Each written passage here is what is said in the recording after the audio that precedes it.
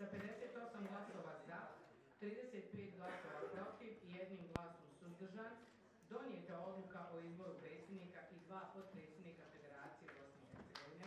Ovo jeste zahtjevna, zahtjevna i časna pozicija a, za koju sam ja sigurna da ću nastaviti opravdati povjerenje koje mi je dato.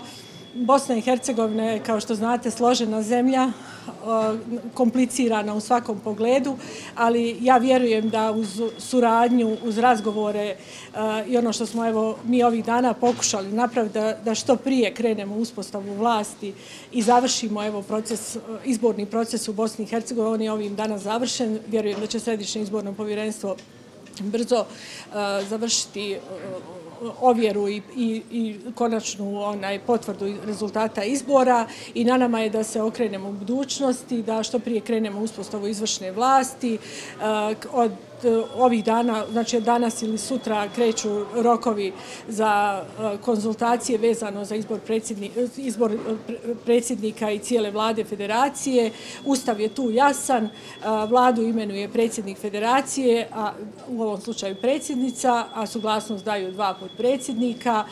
Naravno, tamo se spominje pojam konzultacija. Ja sam vam već ranije govorila da ću naravno koristiti sve ono što su demokratska načela u konzultacijama oko uspostave vlasti. E, meni je žao što ovo evo je i trajalo ovoliko dana. E, pozicija predsjednika federacije, kao što znate, više protokolarna, ali ona u svakom slučaju je i politička. E, Nastojaću E, da ona postane i životna, što ona do sada u svakom slučaju uvijek je teško e, imati e, u, u takvom spoju političkih odnosa da se okrenete životu. Ja mislim da Bosna i Hercegovina zaslužuje priliku, mi je imamo, nama su potrebne promjene za budućnost i ja vjerujem da ih možemo početi provoditi.